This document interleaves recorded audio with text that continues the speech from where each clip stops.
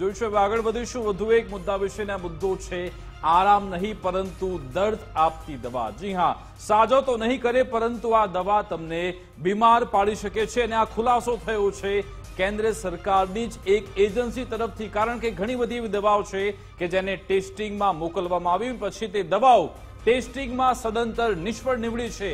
Paracetamol. આ નામ સૌ કોઈએ સાંભળ્યું છે કારણ કે જ્યારે પણ તાવ આવે છે તમે બીમાર થાવ છો ત્યારે તમારા જે ઘરના લોકો છે કે બેટા પેરાસિટામોલ લઈ લે તેને સારું થઈ જશે. પરંતુ આ દવા છે તે ટેસ્ટિંગમાં ફેલ થઈ છે. એવું નથી કે તમામે તમામ દવા ફેલ થાય છે પરંતુ ઘણી બધી જે કંપનીઓ છે પેરાસિટામોલના નામે પોતાની દવા બનાવે પર્ટિક્યુલર છે બ્રાન્ડની પેરાસિટામોલ જ ફેલ થઈ છે અને એ સેન્ટ્રલ જે એજન્સી છે સેન્ટ્રલ ડ્રગ્સ કંટ્રોલ ઓર્ગેનાઇઝેશન એમણે એક લિસ્ટ જાહેર કર્યું. એમણે શું કર્યું હતું કે આવી શંકાસ્પદ ત્રેપન દવા જે બજારમાં મળતી હતી એ દવાઓને લીધી એમના ટેસ્ટિંગ કરાવ્યા. એ ત્રેપન દવાઓ એના ટેસ્ટિંગમાં ફેલ થઈ. ફેલ થઈ એટલે કે એનું જે કામ હોય પેરાસિટામોલનું કામ શું તો એક તો તાવમાંથી રાહત આપવાનું અથવા તો શરીરમાં જે દર્દ દુખાવો થતો એમાંથી રાહત આપવાનું.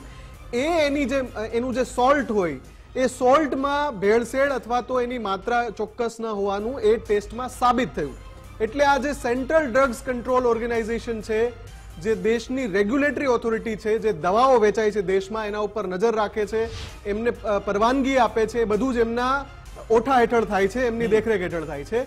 એમણે ત્રેપન દવાઓનું લિસ્ટ જ્યારે તૈયાર કર્યું ત્યારે પાંચ કંપની આમાંથી કેમ કે આમાં હેટેરો ડ્રગ્સ છે આમાં ટોરેન્ટ ફાર્માની એક દવાનું નામ પણ આવે છે. સન ફાર્મા સન ફાર્માની એક દવાનું નામ આવે છે. હિન્દુસ્તાન એક કંપની છે કેમિકલ કરીને એનું નામ મને આખું નહીં ખબર. એ પણ એની પણ એક દવા સેમ્પલમાં ફેલ થઈ છે. એટલે આ આ બધામાંથી પાંચ કંપનીએ ઓર્ગેનાઇઝેશનને પાછો સંપર્ક કર્યો કે તમે જે લિસ્ટ તૈયાર કર્યું છે એમાં પાંચ જે દવા જેમાં અમારું નામ છે પાંચ અલગ અલગ કંપની એ દવા અમે બનાવી જ નથી. અમારું પ્રોડક્શન જ નથી એ દવા. એટલે પછી અડતાલીસ દવા જે અત્યારે તમે સ્ક્રીન પર જોઈ રહ્યા છો ગ્રાફિક્સમાં કે અડતાલીસ દવાઓની યાદી જાહેર થઈ પણ આ અડતાલીસ દવા એટલે કઈ?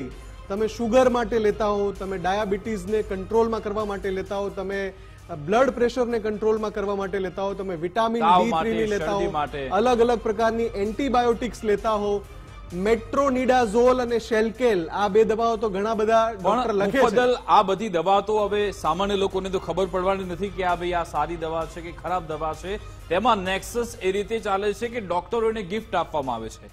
તેમને વિદેશ પ્રવાસના પેકેજ આપવામાં આવે છે અને પછી ડોક્ટરો આ બધી દવા લખી દેતા હોય છે. પરંતુ અહીંયા જ્યારે આ દવાનું પ્રોડક્શન થાય છે ત્યાંથી લઈ માર્કેટમાં દવા પહોંચે છે ત્યાં સુધી કેમ બરાબર તપાસ કરવામાં નથી આવતી? કેમ તેમને સર્ટિફિકેટ પહેલાથી જ આપી દેવામાં આવે છે? જો આ દવા જોખમી છે જો આ દવાનો ડોઝ તમારા માટે આરોગ્ય માટે હાનિકારક સાબિત થાય છે તો પછી ટ્વિસ્ટ જ છે. જી.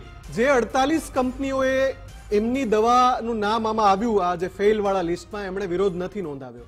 પાંચ કંપનીઓએ વિરોધ નોંધાવ્યો. 53 અને એમણે એવો દાવો કર્યો કે આ અમારી દવા જ નથી. એનો મતલબ એવો થાય કે તમે ત્રેપન ટેસ્ટ કર્યા એ ફેલ થયા. તો એવી હજારો ને લાખો દવા માર્કેટમાં મળી રહી છે. એમાંથી કેટલી એવી દવા હશે કે જે કંપનીએ બનાવી જ નહીં હોય. એમના બ્રાન્ડ નેમથી વેચાતી હશે. પણ એ દવા નકલી હશે. એટલે અહીંયા આમ જનતા તો શું કરે? કેમ કે કોઈ બ્રાન્ડથી તમને દવા મળતી હોય તમે એ બ્રાન્ડથી લઈ લો. કેમ કે તમે ટેસ્ટ કરવા માટે થોડા ઘરે એ એટલા એ છો કે તમારી પાસે એવા કોઈ સાધનો એવા સક્ષમ નથી કે તમને એના વિશે જાણકારી પણ નહીં હોય. પરંતુ તમારે આમાં શું કરવાનું છે? તમારે મેડિકલ સ્ટોરમાંથી જે દવા લેવાની તમારી જે આદત હોય છે તે તમે મૂકી દો.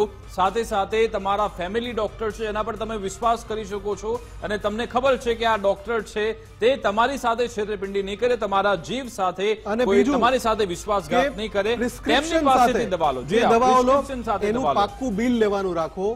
જેથી કરીને કોઈ દવાની તમને આડઅસર થયાનું લાગે. તો તમે એ દવાને લઈને કોઈ દાવો કરવા માંગો તો તમારી પાસે પાક્કું બિલ હોય જે અત્યારે મેડિકલ સ્ટોર વાળા આપે છે. પણ ક્યાંક કદાચ ન અપાતું હોય તો તમારે પાક્કું બિલ લઈને પ્રિસ્ક્રાઇબ્ડ દવા જ ખરીદવી જોઈએ. બિલકુલ આજે દવાઓના જે માફિયાઓ છે, તેમનો પણ ખાત્મો કરવો